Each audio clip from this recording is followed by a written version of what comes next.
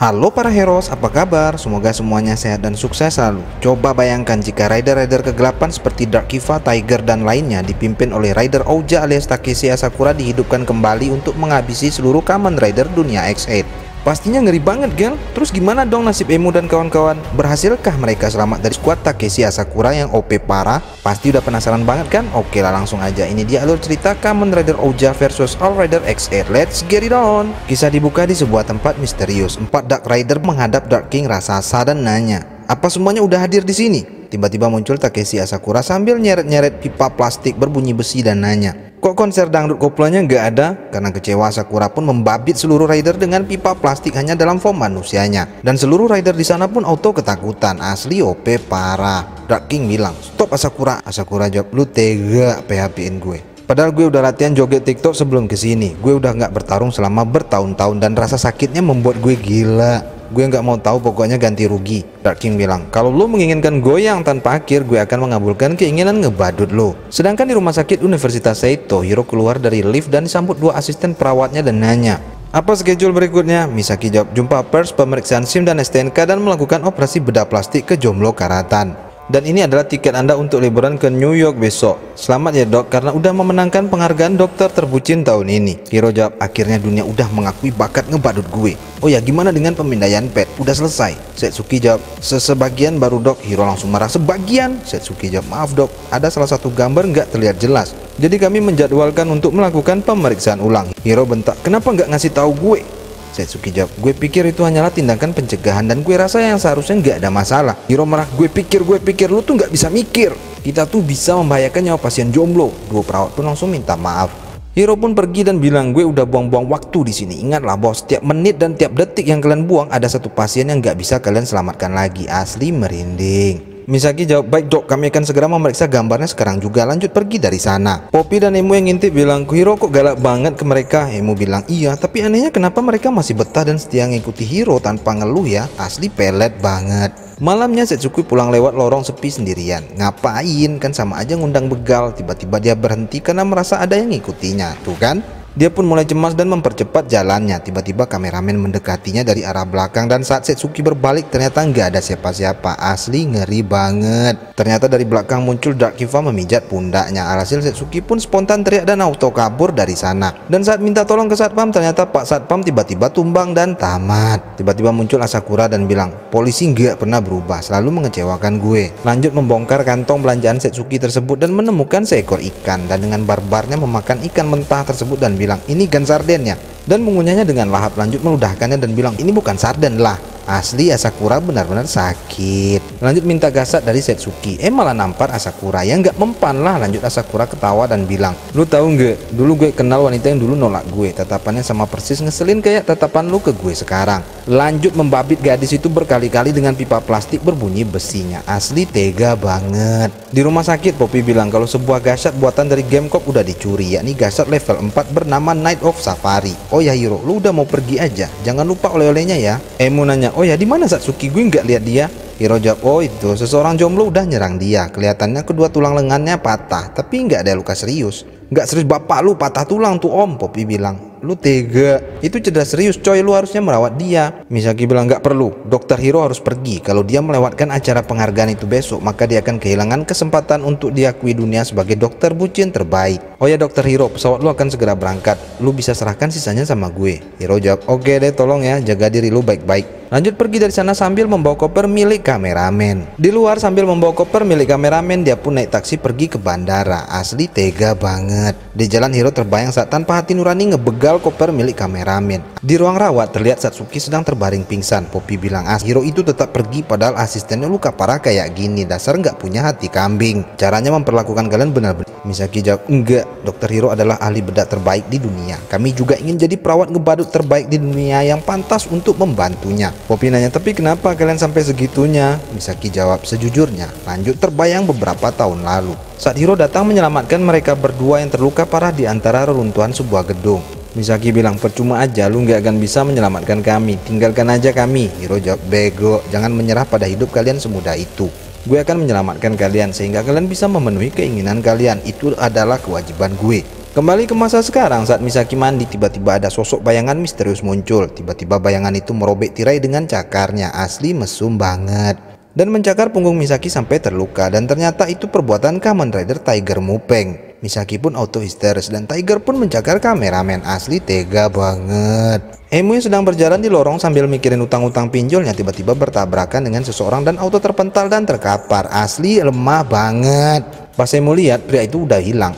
Asli OP parah. Tiba-tiba Misaki lari ke arahnya hanya mengenakan handuk. Emu pun auto menutup mata karena malu-malu kucing. Dan tiba-tiba Rider Tiger Mupeng menyerang mereka. Mereka pun auto kabur dari sana. Di luar, Emu pun menyuruh Misaki bersembunyi di rumah mantan terdekat dan bersiap Henshin untuk menghadapi Rider Tiger. Dan gak jadi Henshin gara-gara menyadari kalau gasatnya diam-diam udah ditukar dengan gasat Safari saat bertabrakan dengan pria misterius tadi. Tiba-tiba Emu udah dikepung oleh empat Rider. Emu baru sadar kalau ini adalah game untuk bertahan hidup alias survive. Eh tiba-tiba dipukul oleh Asakura dari belakang sampai terkapar dan bilang, biar gue yang ngurus bocah nolep ini. Seketika keempat Rider pun pergi dari sana. Lanjut mengambil mengambil gasat dan bilang, ini gasat plastik ya payah sekali, lanjut membuangnya. Game seperti ini nggak akan memenuhi keinginan gue. Lanjut menerjang Emu sampai terkapar. Asli lemah banget. Emu pun bersusah payah menggapai gasatnya. Asakura bilang, nah gitu dong berjuanglah ngebadut sampai akhir. Sama seperti kambing yang menyedihkan. Lu sama seperti jomblo bucin yang udah gue habisin sebelumnya. Lanjut memasukkan kepala Emu ke dalam tong sampah. Dan bilang, lu lihat manusia bucin merasa sangat hidup ketika mereka udah bisa merasakan kematian mereka. Lanjut melemparkan Emu sangat jauh sampai terkapar. Asli ampas banget. Asakura bilang bertarunglah untuk bertahan hidup. Lanjut menginjak kepala Emu dan bilang apa lu pernah main ke sarang janda? Biar gue spoiler asik banget dong dan bikin ketagihan. Lanjut membabit Emu dengan pipa plastiknya. Asli tega banget. Karena nggak sanggup lagi disiksa akhirnya Emu pun pingsan. Asli ampas banget. Misaki yang melihat itu sangat shock dan kabur dari sana. Sakura pun mengejarnya dan bilang perut kecil yang menyedihkan. Tega meninggalkan temannya yang sekarat. Misaki pun tiba di dalam gudang kenapa lari ke sana dan tiba-tiba Sakura udah muncul di depan biji matanya lanjut mengambil pecahan kaca kaca.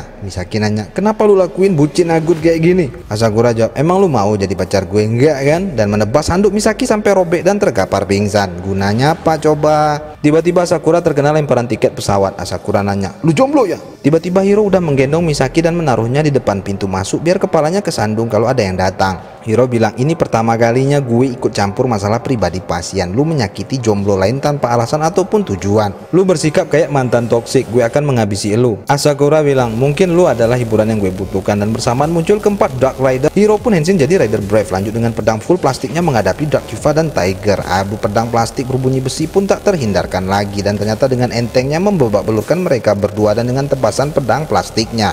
Dan berhasil meledakkan Dark Kiva dan Tiger. Asli OP parah. Lanjut Asakura ngamuk. Kenapa lu membangkitkan gue tapi nggak membiarkan gue jadi rider? Penuhi keinginan gue sekarang juga. Dan tiba-tiba Asakura mendapatkan deck kartunya lagi Rider Oja. Lanjut dengan gembira sambil tertawa Henshin jadi Rider Oja. Lanjut Malan mengajar teman-temannya sendiri. Asli edan banget dan bilang dia mangsa gue jangan ganggu dan dengan gampangnya merobohkan dua Dark Rider tersebut asli OP parah Lanjut memanggil pedangnya dan langsung menebas Hiro secara bertubi-tubi dengan pedang plastik berbunyi besinya. Asli OP parah. Lanjut bilang itu dia pertarungan untuk bertahan hidup dengan mempertaruhkan nyawa. Itulah satu-satunya tempat di mana gue benar-benar merasakan hidup. Lanjut menebas Hiro secara bertubi-tubi dan tanpa ampun. Terlempar terkapar dan kembali ke form manusianya. Asli lemah banget. Oja bilang yang bener aja baru mulai kok udah nyerah. Cemen amat. Gak asik tahu dua lagi yuk. Gue belum puas nih. Hiro bilang. Jadi untuk memenuhi keinginan lulu sengaja merenggut nyawa jomblo lain Oh jawab so what gitu masalah buat lo Hiro jawab kalau gitu kita emang beda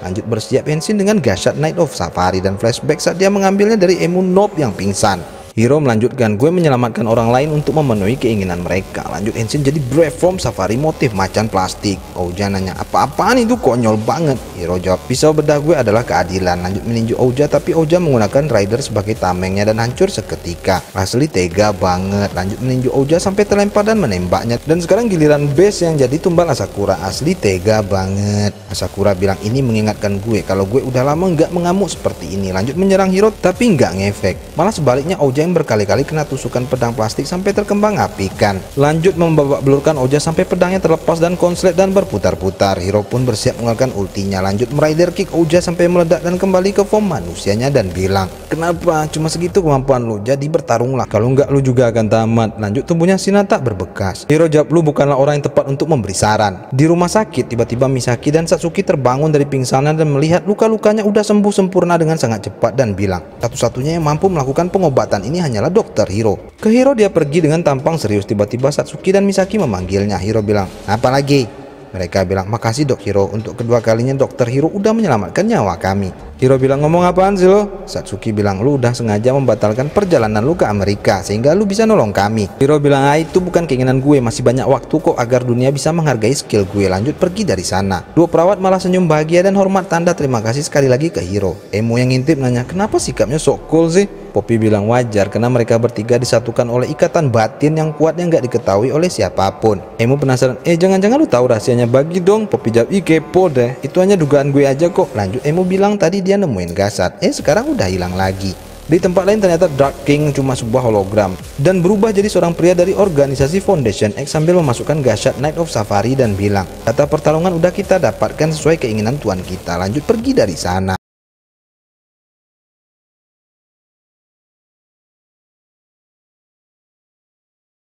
Suatu hari Emo berusaha kabur sampai berhasil menemukan item untuk balik menyerang Rider Double. Alhasil Double pun terbabak belurkan dan terakhir Emo pun melakukan ultinya Rider Kick. Alhasil Rider Double auto meledak dan tamat. Ketiga dia pun akhirnya menggunakan ultinya dan memberondong Force dengan beceng plastiknya sampai meledak. Asli OP parah. Lanjut giliran Hero melakukan ultinya lemparan bola baseball super. Alhasil bola pun meluncur dengan deras dan saat dipukul malah Os dan para Baxter yang terlempar ke tribun dan meledak. Asli OP parah. Sebelumnya Poppy dan Emu pergi ke suatu tempat. Di jalan Emu bilang ingin mengembalikan gasat Ghost ke dan Kuroto yakni gasat yang dia gunakan saat melawan Dr. Pac-Man dulu. Tiba-tiba muncul monster Baxter. Emu pun Henshin jadi Rider X at form Ghost lanjut menyerang monster. Ternyata nggak ngefek dan nggak berdamage. Malah Emu yang dibabak belurkannya dan ditinju sampai terlempar dan terkapar. Asli lemah banget. Di tempat lain dan Kuroto berhasil menciptakan gasat berkekuatan seluruh Rider legenda.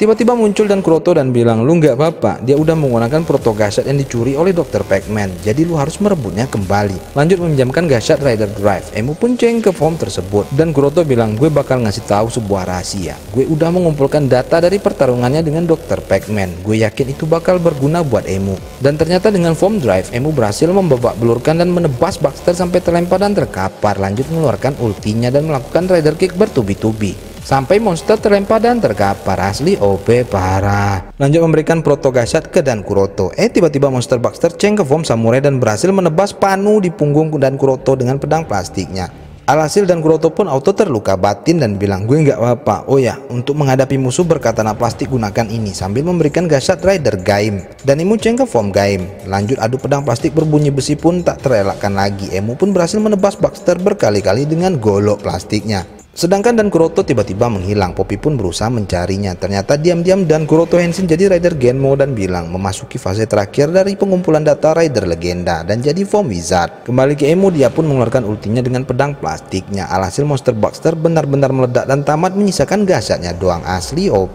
parah. Tiba-tiba muncul dan Kuroto dalam bentuk Black X8 dan mengambil gasat tersebut. Emu nggak tahu kalau itu si Kuroto. Lanjut Kuroto menyerang Emu menerjangnya sampai terlempar dan terkapar dan melakukan ultinya. Rider Kick alhasil Emu auto meledak terlempar dan kembali ke form manusianya. Asli lemah banget. Lanjut mulung seluruh gasat yang terjatuh dari Emu. Emu nanya, lu mau ngapain? Kuroto bilang dasar julid semua data rider udah gue kumpulin lanjut menggabungkan seluruh gasat dan jadilah gasat baru dan memasukkannya ke dalam tubuh monster Baxter dan tiba-tiba muncul rider Force, rider double dan Oz dan bersiap akan menyerang Emu. Tiba-tiba muncul Dr. Pac-Man dan membawa kabur Emu dari sana. Di parkiran Emu nanya, Dr. Pac-Man, bukannya lu udah dikalahkan? Tiba-tiba muncul Taiga dan bilang, jadi lu udah kembali dari neraka ya? Gue bakal ngirim lu kembali ke sana. Emu bilang, tunggu dulu, dia baru aja nyelamatin gue. Hero tiba-tiba muncul dan bilang, gue nggak tahu siapa lu, tapi gue akan menghabisi lu. Tiba-tiba muncul Kamen Rider Gen dan tiga rider legendaris di sana. Emu bilang mereka adalah Kamen Rider gagal move on sama seperti kita, tapi Black X8 mengendalikan mereka sama seperti karakter dalam game. Dr. Pac-Man bilang gue nggak peduli, mereka semua adalah mangsa gue. Lanjut memberikan gasat ke Emu, Hiro, dan Taiga dan kabur dari sana sambil dikejar oleh Black Exit. Lanjut Emu, Taiga, dan Hiro Henshin menggunakan gasat pembagian tersebut untuk menghadapi Rider legendaris. Lanjut berduel dengan mereka. Emu pun mengaktifkan gasat Pac-Man untuk menghadapi Dark Rider Double. Lanjut Hiro menggunakan gasat Game Family untuk menghadapi Dark Rider Oz. Dan Taiga menggunakan gasat Sevius untuk menghadapi Dark Force. Lanjut mereka adu beceng plastik sambil terbang di langit dan akhirnya berhasil menembak Force sampai jatuh. Singkatnya Emu berhasil mengalahkan mereka tapi merasa aneh karena gamenya kok belum tamat. Poppy pun menggetok kepala monster Baxter tapi nggak ada respon. Lanjut bilang pasti habis dicampakkan mantannya. Eh tiba-tiba monsternya gerak dan ngejar-ngejar Poppy. Untung datang Emu di sana menolong dan segera mencabut gasat dari kepala Baxter dan menggunakan gasat gambar Rising tersebut yang merupakan gabungan kekuatan dari seluruh Raider untuk mengulti monster Baxter. Alhasil monster Baxter pun auto meledak dan tamat. Asli OP parah. Eh ternyata gamenya belum clear dan gasat tersebut terbang dan jadi rider misterius. Sedangkan Dr. Pac-Man tersudut dikejar oleh Exit Black dan saat dibuka topengnya dia malah menunjukkan gasat gendang koplo. Kembali ke Emu ternyata dia harus menghadapi Kamen Rider Hibiki. Poppy kabur dari sana. Sedangkan Dr. Pac-Man tiba-tiba muncul dan menyerahkan gasat main irama gendang koplo ke Emu untuk menghadapi Hibiki. Sehingga Emu berhasil mengeluarkan ultinya dan meledakkan Rider Hibiki dan akhirnya game clear. Lanjut mengambil gasat tersebut. Eh tiba-tiba muncul Taiga dan Hiro di sana. Bersamaan muncul juga Dr. Pac-Man di sana dan dengan secepat kilat mencopet kembali gasat dari ketiga rider tersebut. Asli copet banget. Hiro bilang tampaknya kita hanya dijadikan objek uji coba. Tiba-tiba muncul pula Black X di sana dan langsung menggunakan gasat gambar Rising, yakni gabungan kekuatan dari seluruh Kamen Rider. Lanjut mengeluarkan ultinya. Rider Kick dengan kekuatan gabungan seluruh rider. Alhasil trio X8 auto meledak, terlempar dan terkapar dan auto kembali ke form manusianya. Asli lemah banget. Lanjut Black Blacksad dengan santainya pergi dari sana. Emu nanya apa maksudnya ini sih? Di kantornya dan Kuroto tersenyum bahagia karena seluruh koleksi gasat dari seluruh rider legendaris sudah terkumpul. Tiba-tiba muncul Dr. Pac-Man dan Kuroto bilang, cepat lepas topeng plastik bodoh lu itu. Dan ternyata itu adalah Parado. Parado jawab, kok ngegas? Slow dong. Dan ternyata Parado udah resmi kerjasama dengan Dan Kuroto dan tamat. Gimana seru banget kan? Jangan lupa like, comment, dan sub ya. Thank you.